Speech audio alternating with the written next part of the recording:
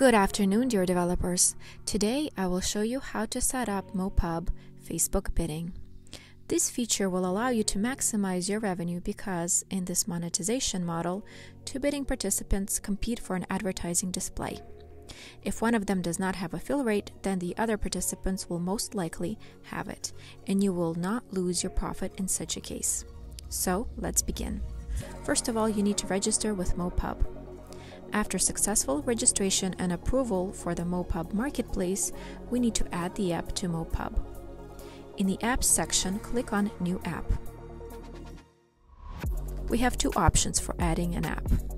If Google Play has already published your mobile application, you can paste a link to it in this field. Select the second option and fill in all required fields if it has not yet been published. Our app is already on Google Play, so we'll paste a link to it.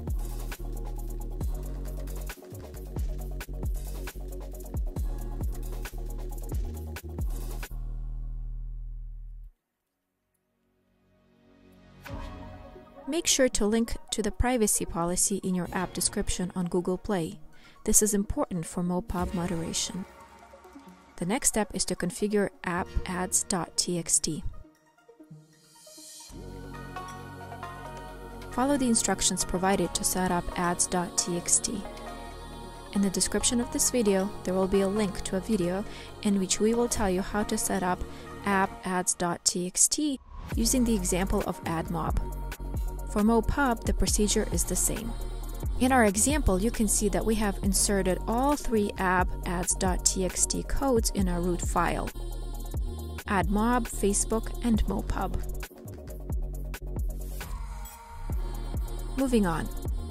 After successfully adding the app to MoPub, we need to create ad units.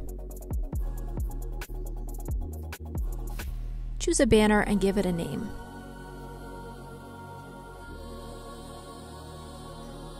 Click Save. Copy the ad unit ID and paste it into your document.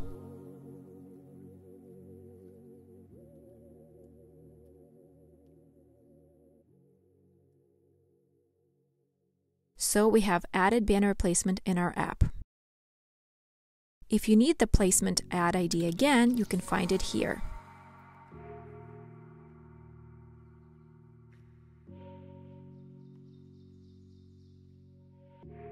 Now let's create an interstitial ad unit. Here it is called full screen.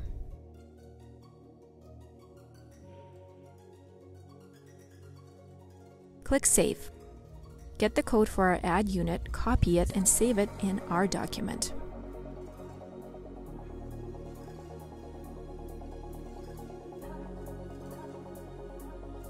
After that, we can add our ad codes to the monetization settings of our application in Andromo.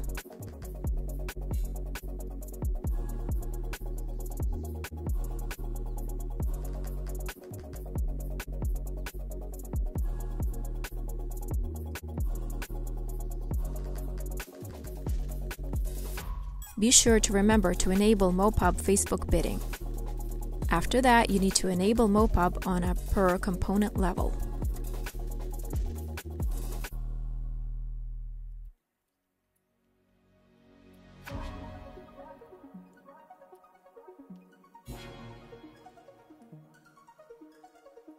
Then save your app. After you complete the bidding settings, you will need to rebuild the app and update it on Google Play. We need to go to business.facebook.com and enable the MoPub Facebook bidding setting for our app.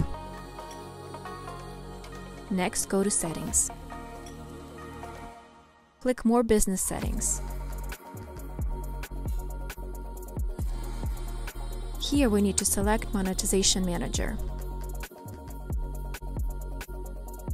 After that, you need to create new property if you haven't added your app to Facebook yet. After the app's name, click Create Property and complete the procedure for adding the app. We have already added this app, so we will not add it again. Click on it. Click on Bidding Setup. choose Mediation Platform MoPub. Select App. Copy and save banner ID, interstitial ID.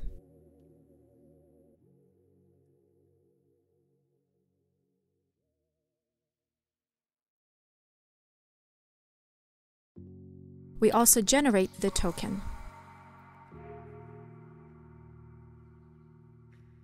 Click Done. So we are done with the Facebook level bidding settings. Now let's complete the bidding setup at the MoPub level.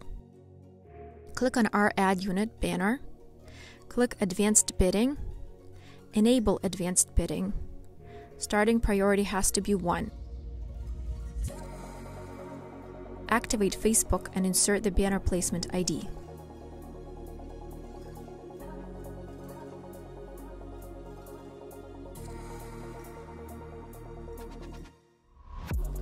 Click Save. You can see that in Overview, Advanced Bidding takes precedence over Marketplace.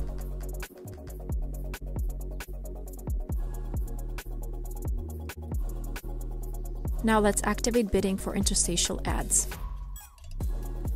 Again, enable Advanced Bidding.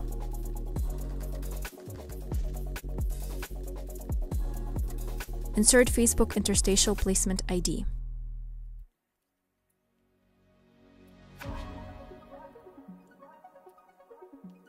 You can also see that advanced bidding takes precedence over Marketplace for interstitial ads.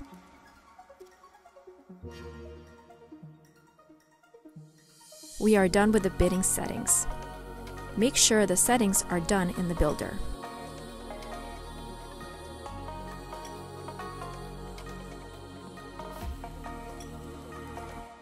You need to build the app and update it on Google Play. Only then can you download it and test the bidding. Do not try to bypass the Play Market because Facebook will not display ads in an app not downloaded from the market. Thanks for your attention and good luck.